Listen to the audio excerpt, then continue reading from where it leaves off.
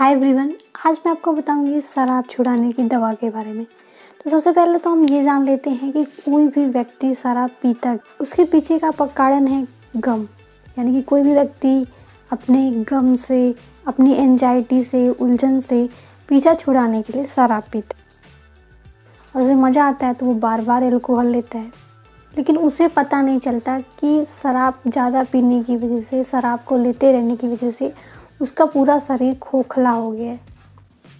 तो आज हम जानेंगे शराब छुड़ाने की दवा के बारे में ही, जिसका नाम है डिसुल्फिराम टैबलेट। डिसुल्फिराम टैबलेट जो कि एक पुरानी शराब है, जिसका इलाज होता है शराब को छुड़ाने में। डिसुल्फिराम को शराब पीने के 12 घंटे बाद लेना है। ये 500 सौ एम ये 500 सौ की एक डोज आती है। इसको आपको शराब पीने के बारह घंटे बाद लेना है। रोज़ एक टैबलेट लेनी है डिसुल्फिराम की, लेकिन इस टैबलेट को खुद से बिल्कुल भी ना लें। इसके साथ में और भी मेडिसिन दी अब हम जानेंगे कि डिसुल्फिराम टैबलेट के साइड इफ़ेक्ट क्या हैं। इस टैबलेट को लेने के बाद हेडेक मुँह में लहसुन का टेस्ट आता है स्किन रेसेस इसके अलावा डिसुल्फिराम टैबलेट के जो सीवियर साइड इफ़ेक्ट हैं, वो है नर्व इन्फ्लामेशन यानी कि नसों में सूजन क्या है, सावधानियाँ क्या हैं इस टैबलेट को लेके।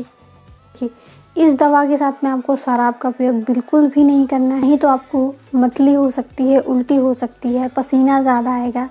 इसके अलावा जो सीवियर परेशानी देखी जाती है इस टैबलेट को शराब के साथ लेने पे, वो है हार्ट फेल्योर।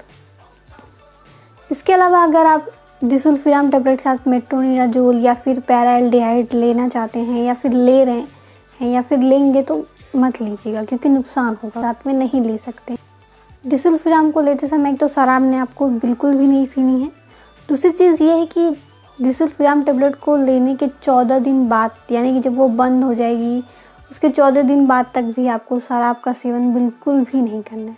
डिसल्फिराम टेबलेट को लेके एक और ज़रूरी बात, इस टेबलेट को लेने से पहले आपको ये डिसाइड कर लेना है कि आपको मिर्गी नहीं आती है। इसके अलावा हृदय रोग नहीं है या फिर दिल का दौरा तो नहीं पड़ता है।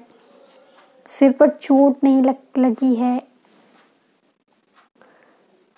तपेदिक की दवा फिनाइन टोइन रक्त को पतला करने की दवा इन सब के साथ में आप डिसुलफिराम टेबलेट का इस्तेमाल बिल्कुल भी ना करें।